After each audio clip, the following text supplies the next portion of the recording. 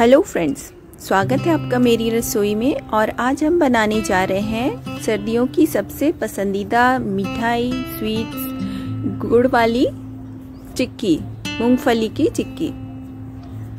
तो इसके लिए मैंने बराबर मात्रा में गुड़ और मूंगफली को लिया है और मूंगफली को मैंने पहले ही हल्का रोस्ट करके उसके छिलके उतार दिए हैं और दानों को आधे आधे कर दिए हैं मैंने। तो चलिए पैन में थोड़ा घी लेंगे। एक चम्मच के लगभग हम घी डालेंगे पैन में, क्योंकि गुड़ चिपके ना, इस वजह से हम उसमें थोड़ा घी डालेंगे। जितनी हम एक कप मैंने यहाँ पे मूंगफली लिया है तो उतने ही मात्रा में हमने गुड़ लिया है यहाँ पे। और गुड़ आप कोई भी क्वालिटी का ले सकते हैं। गुड़ मेरी थोड़ी सी लाल वाली है, आप थोड़ी इससे लाइट कलर की आती है। मार्केट में बहुत तरह की गुड़ की वैरायटी अवेलेबल है तो आप कोई सी भी ले सकते हैं। तो ये देखिए, गुड़ पिघलना शुरू हो चुका है। और हमें फ्लेम को लो टू मीडियम ही रखना है। जब ये अच्छी तरह से गुड़ पिघल जाए, तब आप मीडियम टू लो हाई कर सकते हैं। और ये देखिए, गुड़ हमारा उबलना भी शुरू हो चुका है। अब ये गुड़ बहुत ही हल्का हो गया है। ये देखिए, क्योंकि इसमें एयर बबल्स भर गए हैं। अब हम इसे हाथों से तो चेक नहीं कर सकते, क्योंकि ये बहुत ही गर्म होता है। तो इसे हम एक कटोरी पानी के साथ चेक करेंगे।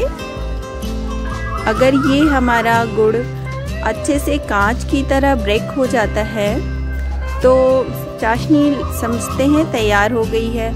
और नहीं अगर टूटता तो मतलब चाशनी हमारी तैयार नहीं है। तो ये देखिए, ये अभी इलास्टिक की तरह ऐसे खिंच रहा है। मतलब हमारी चाशनी को अभी और टाइम चाहिए। तो फ्रेंड्स, आज की रेसिपी अगर आपको अच्छी लगे तो प्लीज़ लाइक, सब्सक्राइब, शेयर करें। और ये मैंने स्लैब पे ही फैलाया है तो वहाँ जिस भी बर्तन में फैलाएँ या ट्रे में फैलाएँ, उस जगह को आप पहले ही घी से ग्रीस कर लें, क्योंकि बाद में टाइम नहीं मिलता है।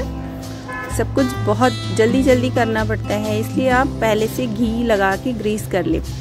तो अभी हम फिर से चेक कर रहे हैं। ये अगर अच्छी तरीके से टूट जाता है तो समझिए हमारा चाशनी तैयार है। ये टूट रहा है, पर थोड़ी सी कसर बाकी रह गई है तो बस पाँच मिनट और उसके बाद मैं इसमें मूंगफली मिला दूँगी। बस थोड़ी देर में ही मैंने देखिए तैयार हो गया है तो मैंने पीनट डाल दिया इसमें। और अब इसे जल्दी से जल्दी हमें मिलाकर तुरंत ही फैला देना है। आप चाहें तो इसके साथ साथ और भी दूसरे ड्राई फ्रूट्स भी डाल सकते हैं या तिल डाल सकते हैं। सर्दियों में धूप में बैठकर चिक्की खाएँ, बहुत ही अच्छा लगता है और ज़्यादातर लोग ऐसे करते हैं। तो ये बहुत ही फेवरेट मिठाई है सर्दियों की। और इसे आप ऊपर से भी अच्छी तरह से लेबल कर दें तो बेलन में घी लगाकर आप लेबल कर सकते हैं। और फ्रेंड्स जब एक मिनट और हो जाए, ठंडा हो जाए लगभग, पूरी तरीके से ठंड नहीं होना है ठंडा, तब इसे हम चाकू से शेप दे देंगे। जिस भी शेप में आपको काटना हो तो हल्के गरम में ही आप पहले से ही निशान डाल ले। बाद में फिर निशान नहीं डाल पाएगा, इसलिए हल्के गरम में ही ऐसे काट लेंगे हम इसे। और जब पूरी तरीके से ठंड हो जाएगा पूरे तरीके से ठंडी हो जाएगी, तब इसे हम अलग अलग निकाल लेंगे। तो ये देखिए, अब ठंडा हो चुका है, इसे हम हाथों से भी टच कर सकते हैं आराम से, और ये निकल भी आ रहा है। चौकोर चौकोर शेप में मैंने काटा है। आप चाहे बर्फ़ी के शेप में भी काट सकते हैं। तो ये देखिए, तैयार है हमारी चिक्की। खाने के लिए धूप में बैठे और चिक्की का मज़ा लें। बहुत ही टेस्टी चिक्की बनती है, घर की बनाई हुई। तो इस तरीके से आप भी ट्राई करें, बहुत ही फटाफट बन जाती है। हाँ लेकिन थाली को पहले से ही ग्रीस कर ले।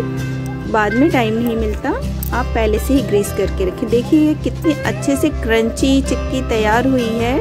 आसानी से टूट रही है। तो आपको आज की रेसिपी मेरी कैसी लगी फ्रेंड्स आप हमें कमेंट बॉक्स में ज़रूर बताएँ। ये देखिए, बहुत ही अच्छे से टूट रही है ये। तो आप इस तरीके से घर पे अपने ट्राई करें और कैसी बनी हमें कमेंट बॉक्स में ज़रूर बताएँ। आपके कमेंट से ही हमारा हौसला बढ़ता है और मैं आपके लिए और अच्छी अच्छी रेसिपीज़ ला सकती हूँ। आप मुझे सुझाव भी दे सकते हैं कि अगली वीडियो में मैं कौन सी रेसिपी शेयर करूँ आप सबके लिए। तो thanks for watching friends bye bye